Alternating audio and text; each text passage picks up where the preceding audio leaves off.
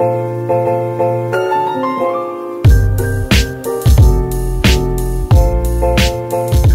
up? Jimmy here, long time no see guys. It's been a crazy couple of months. That's the reason why I haven't been making a lot of videos. I went through a giant journey and I've learned so much so that I can bring this all to you, my favorite people in the whole world. I recently went through a job interview process. I graduated school, so of course I'm looking for a job. And so I want to talk to you guys. I want to, I, I I'll, that's what I want to talk to you guys about today. I want to tell you what I did in order to land that job, and I want you guys to get that job you always wanted. There's two things. There's two things that I want to recommend to you guys, and it's not like, oh, make your portfolio great, and it's not like, um, make sure to do all these tips when you go into the interview. That's all stupid. I'm just kidding, they're not stupid, but the two things I want to tell you guys is, number one, never need it. Never be needy and desperate. That's a number one. And the best way to do this is to already have plan Bs. You see, I already had a current job while I was going to school and it was a good job and I could stay there for a couple more years until I find something else. But instead of just being comfy, sitting back and working at this job, what I wanted to do was just see what else is out there. When you do this, when you're in that position where you don't necessarily need the job, you just kind of have fun. You kind of go into it. There's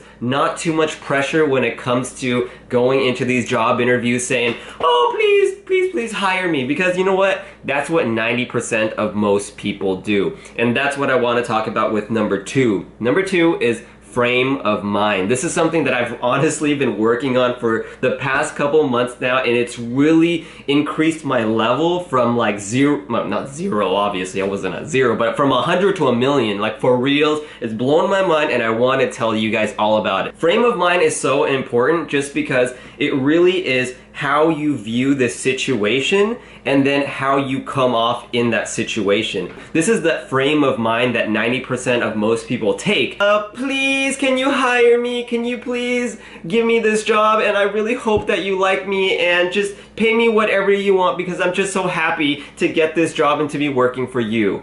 That is the mindset that most people take. And so how does this come off? When you walk into that interview you you you kind of have like a more subtleness to you. You're probably more shy and timid and people pick up on that. Like for real like a hundred percent people pick up on that stuff and you know what they do? They judge you on the type of person that you are. And you don't want to be this weak meek little person that is desperate and needy for this job because the the the, the, the interviewer can see that and they're gonna see that you're just a, a timid person that they're going to need to build up. Now, what the kind of frame of mind you want to take is is the unneedy non-desperate and and not only that but you know the type of skill that you have you know what you have that you can bring to the table and if you've watched all of these industrial design videos that I've created and grew as an industrial designer, you have you should have the confidence and the skill to be able to do so. If you haven't, of course, there is a giant library of videos for you guys to watch, which I highly recommend. When you go into the job interview with a high value frame of mind. Now, what is a high value frame of mind?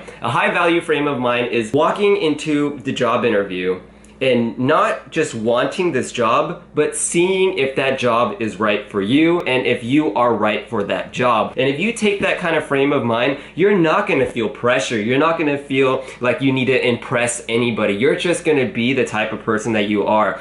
And this comes off in a very like natural primal kind of feeling where your employer is gonna know exactly what they're dealing against. You look them in the eye, you tell them what you've done in the past, and you do it with confidence. And you know what? It's okay if they don't like you. You just say, you know what? It's all good. It, it, it doesn't seem like we're a right match, and um, and and we can walk away. In the job interview, they the people didn't necessarily know what industrial design was but they knew that they had a couple things that they needed to accomplish. And when they told me those things that they needed to get done, I immediately knew that that was an industrial design position. And I told them, this is what I said. I said, it seems like you guys honestly really need an industrial designer because industrial designers, we're trained to do all of these things that you guys are looking for. And I have the skills to do it. But for some reason, it's not me. I honestly would recommend, and I know a lot of industrial designers who can do this job really well. That's what I told them. That's what I said.